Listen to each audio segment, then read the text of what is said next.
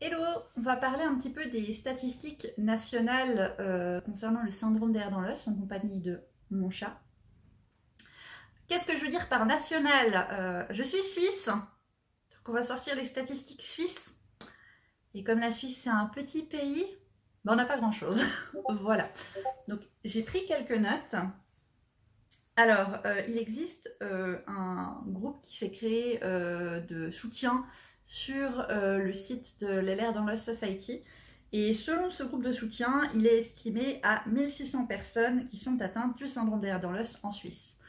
La source n'était pas marquée, on a accès à un PDF, mais il faut demander les accès, donc euh, je n'ai pas pu aller voir plus loin euh, pour l'instant. j'ai fait des recherches un peu ailleurs sur internet, notamment en allant regarder sur la Disease Maps. Si vous ne connaissez pas, en gros, c'est quand vous avez certaines maladies, vous pouvez vous enregistrer sur cette map et ça permet de, voir en fait euh, à quel point les personnes euh, sont représentées en fait dans ce pays comme ayant cette maladie.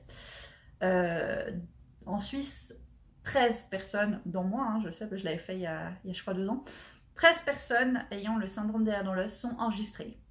Donc approximativement maintenant, on a un chiffre de 13 selon DiseaseMap et selon ce groupe de soutien, 1600 euh, personnes. Donc, une large fourchette.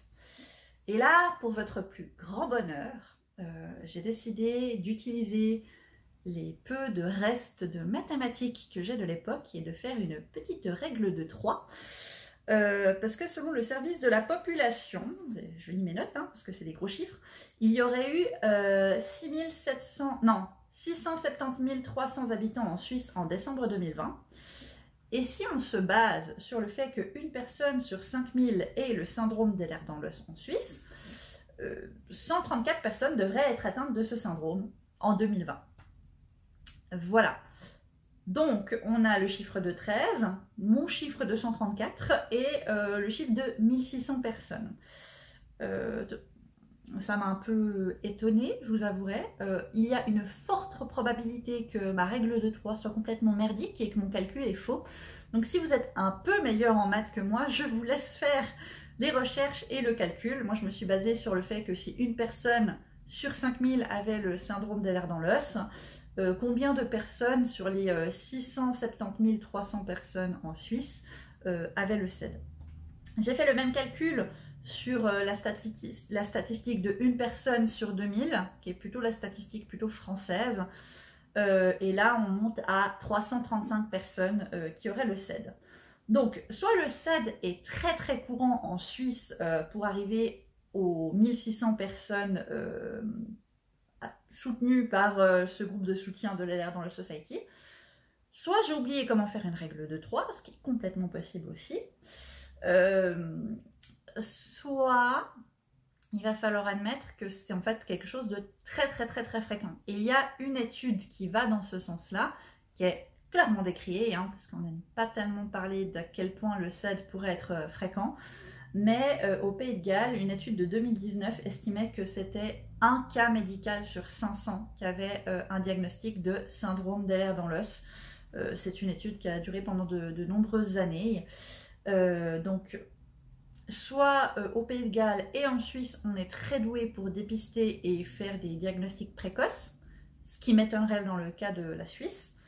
Euh, soit c'est vraiment plus fréquent que qu'est-ce qu'ils le pensent, mais en tout cas, ce que nous pouvons dire, c'est qu'on est vraiment dans un énorme flou. Et s'il y a quelqu'un du domaine médical qui est haut placé en Suisse qui tombe sur cette vidéo pour une raison XY, euh, est-ce que vous pourriez faire, je ne sais pas, un centre de référence du syndrome d'air dans l'os en Suisse ou quelque chose, où il y ait des statistiques qui soient faites, ou où, il y ait une base nationale, où, on ait quelque chose de concret s'il vous plaît, parce que ça nous aiderait vraiment. Hein. Parce que moi, quand j'ai dû chercher les noms des spécialistes du syndrome d'air dans l'os en Suisse, j'ai eu l'information grâce à un site belge et, et, français, belge et français, mais médecin qui, qui, gère et surtout belge. Donc tout ça pour dire qu'on a une, grosse lacune en termes de connaissances. Généralement, quand on connaît des médecins spécialisés en CED, c'est pas marqué sur leur bio sur internet. Hein. C'est on le sait par un médecin qui nous dit on se transmet l'info entre patients. C'est compliqué pour nous, pour avoir des personnes qui sont compétentes dans le domaine quand on doit aller avoir des soins. mais ça laisse un énorme flou sur ce qu'est la prise en charge du syndrome d'air dans le suisse. C'est décourageant, c'est déprimant. beaucoup de personnes pensent qu'il n'y a aucun médecin spécialisé, notamment quand il y a la barrière de la langue qui rentre en jeu. Donc, je pose ça là, je soumets l'idée faites un centre de compétences de quelque chose, même si c'est pas en termes de médecin, juste de statistiques, d'informations. Hein, vous donnez les informations. Qu'est-ce qu'on a comme cas en Suisse par rapport à tel type de CED euh, Qu'est-ce qu'on a comme médecin? Est-ce qu'on est meilleur que les autres pays ou pas? Faites un truc de statistique. Hein. Je vous demande même pas de prendre en charge des patients, hein, parce que ça, je sais que des fois, c'est un peu demandé. Du coup, voilà. Euh, j'espère que cette vidéo aura quand même eu un intérêt. J'ai un petit doute. Euh, je vous souhaite une bonne journée et euh, je me retourne papouiller mon petit chat. Voilà. Bye